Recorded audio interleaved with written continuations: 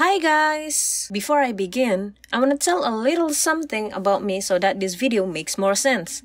So, I've been living in Osaka for around 7 months.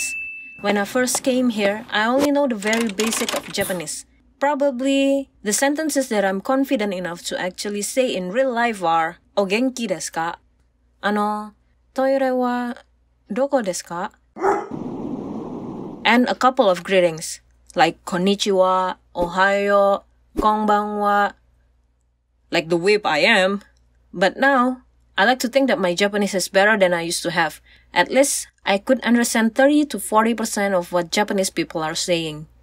And for some reason, I thought that it was good enough for me to go to the doctor alone, without someone that could help me translating. Boy, did I thought wrong. I was very anxious, of course. First, having to see the doctor alone, facing the receptionist, while not fully able to understand what they're saying. Cut to when the doctor herself called my name to go inside. My hands turned cold.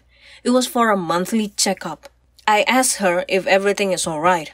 After she briefly checked me, she said something like, Nani nani, daijobu, nani nani nani, daijobu desu ne?